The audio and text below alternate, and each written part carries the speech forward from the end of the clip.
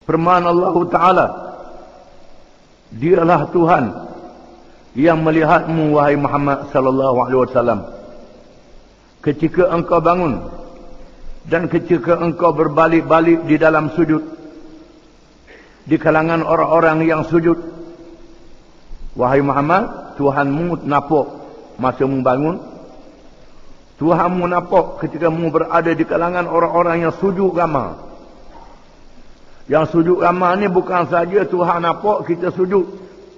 Ada ada tak makninah ke tak ada tak makninah bahkan Tuhan tahu dan nampak masa sujud tu kita ingat ke apa? Ingat ke lembu ke ingat ke kubah di padang ke?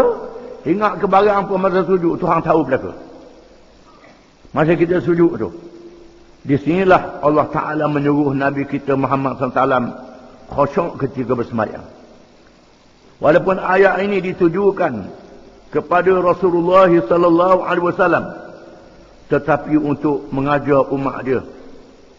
Mengajar umat dia supaya khusyuk ketika bersemayang kerana pada masa semayang sama ada semayang seorang sama ada semayang jemaah. Kita duduk fikir kita semayang jemaah separuh ratus orang ribu orang. Tuhan nak tengok warna ribu-ribu orang ni Tuhan satu saja. Kepada Tuhan sama je ribu orang juta orang berapa triliun pun macam tengok seorang Itulah ilmu Allah Ta'ala. Ilmu Allah Ta'ala, ilmu yang tak terhingga. Ilmu yang kita tak mampu nak fikir. Sehingga Allah Ta'ala melihat segala gerak-geri kita masa semayang, masa berdiri dan masa sujud.